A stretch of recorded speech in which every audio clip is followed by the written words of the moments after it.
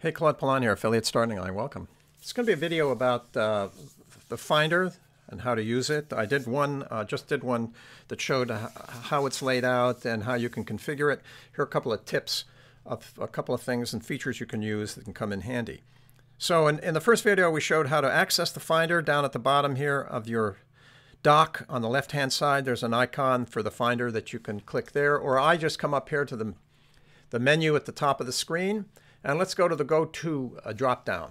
The Go dropdown gives you the ability to find uh, folders and files and areas of your computer that you might find useful. All my files, in this case in the Finder, the document folder, if I'm looking for certain documents and I know they're in the document uh, uh, folder, I'll, I'll, go there. Desktop, downloads, home, this is your user, um, your main user account. Computer, this allows you to isolate obviously what uh, what's connected to your computer. Apps comes in real handy if you're looking for an application, and uh, this one I use pretty often.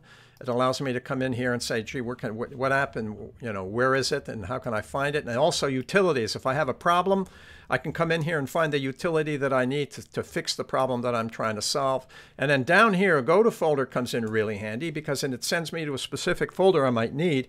In this particular case, it's configured to go to my cache folder. And I know if I go to go there, I can come in here, and do a click A, and uh, clear the cache. So this Go dropdown is really, really handy. And I would start there when you're starting to look for things. In the old days, I used to come over here to the Spotlight and type in what I was looking for, and it would give me a whole, you know, a pretty decent run uh, drop down of what I what I was looking for, but I would have to sift through it. This is I find is a lot faster. Now there's one other tip: the new Smart folder when I'm trying to put some information together and I'm trying, or sometimes I'm saying, gee, where all my, how can I isolate all my videos on, let's say, cPanel? So this is how you can do it. A smart folder is a folder that is created for the purpose of putting only uh, uh, drilled information into a folder. Let's put it that way. How do you do it? Well, you come up here. Now, there's several ways you can display the information. I have it selected right now up here to uh, use the cover flow, but you could come here and display information via icon. I'll show this shortly, or by a list, or by the column view, or by the cover flow view. I'll show that in a minute what that means. Okay, so let's take a look. Let's say it just uh, it's giving me this uh, option here to, to, search by date, created, name. I'm going to pick the name, and I want to name that matches cPanel. So now look at this. It's pulled up all the information on my machine that, that refers to cPanel. Now I'm going to filter it by clicking this plus button. And I'm going to leave it the kind the same. And this time I'm going to come and say I want movies. Now, you know, if I looked at kind, it would it give me the same options here. But I'm going to leave it that is. And now what it's done by filtering by movie, it's pulled out all of the videos for the cPanel all my MP4s, MV4s, MOVs, etc. So now I've got my movies in here. And what I'm going to do at this point is save this, and I'm going to save it as cPanel Movies. Smart folder.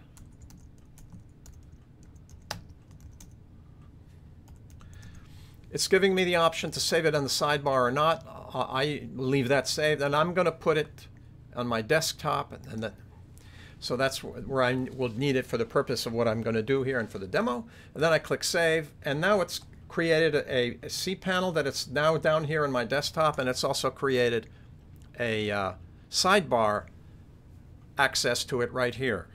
If ever you decide you ever want to get lose some of these access, the sidebar thing, you hit Command.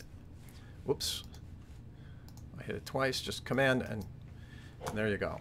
So now that's it. So now I have a folder that's got um, all my movies in it. If I wanted documents uh, pertaining to a certain subject matter, I could do exactly the same thing.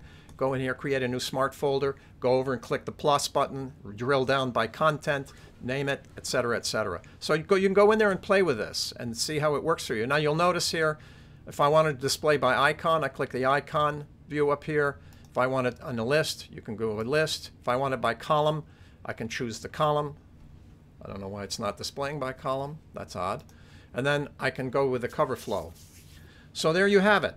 Uh, the go the go-to drop-down and the smart folders in the Finder. I hope this video has been helpful. This is Claude Pelanne Affiliate Starting Line. Stay with it, stay well, and we'll talk soon.